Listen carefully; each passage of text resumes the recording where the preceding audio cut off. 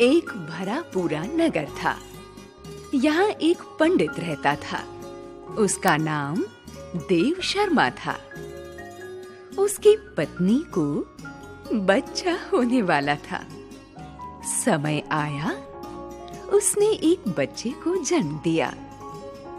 वही घड़ी थी, जब एक नेवली को भी बच्चा हुआ। बच्चे को जन्म देते ही नेवली मर गई। नेवली का शिशु अनाथ हो गया। पंडिताइन को दया आ गई। वह छोटे नेवले को घर ले आई। अपने बच्चे के साथ साथ उसे भी दूध पिलाती। उसे तेल उबटन भी लगाती। इस तरह वह शिशु नेवले की भी माँ बन गई थी। उसके मन में ममता थी। ममता के साथ साथ डर भी था। डर का कारण था, कहीं यह नेवला उसके बच्चे को न काट ले। अपने बच्चे से बढ़कर तो संसार में कुछ भी नहीं है। नालायक, कुरूप, मूर्ख, दुष्ट बच्चे को भी देखकर माँ का जी जुट जाता है। लोक प्रचलित नीति के अनुसार अपने बच्चे के शरीर को छूकर माँ को असीम सुख मिलता है। इस सुख के आगे चंदन की शीतलता भी फीकी लगती है। एक दिन पंडिताइन को घर में पानी की ज़रूरत पड़ी। उसका बेटा सो रहा था। उसने उसे पालने में लिटाया। पानी तो भरना ही था। घड़ा उठाया। जाते जाते रुकी। उसने अपने पति से कहा, मुझे पानी भरना है। मैं तालाब की ओर जा रही हूँ। बच्चे का ध्यान रखना। देखना, नेवला उसे काट न ले। पति ने उसकी बात नहीं सुनी। इधर पंडितान गई, उधर पंडित किसी काम से निकल पड़ा। उनके जाते ही घर सूना हो गया।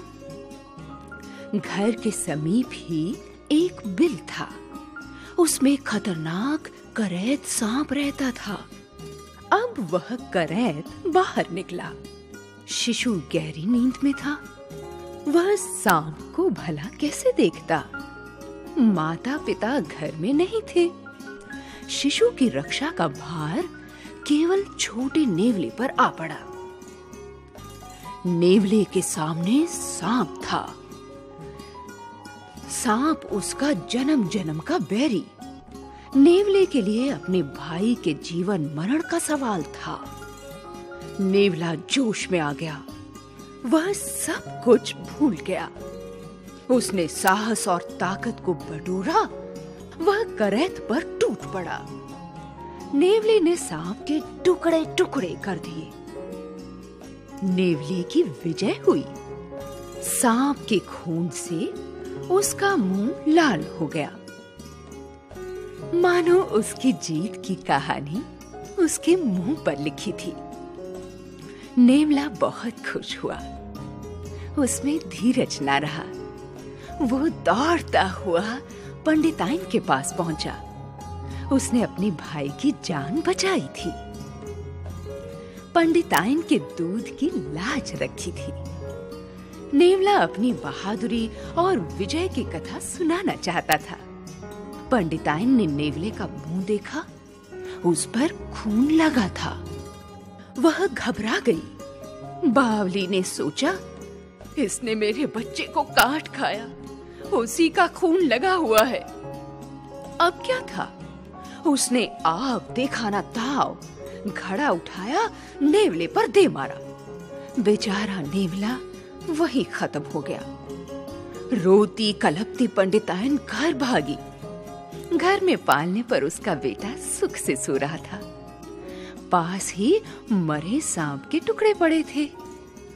पंडितायन अपनी गलती समझ गई। उसके शोक का ठिकाना ना रहा।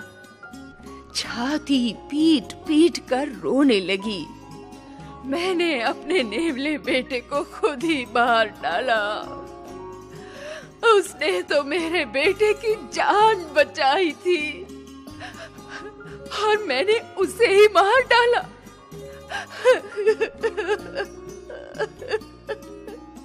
हाय मेरा नेवला।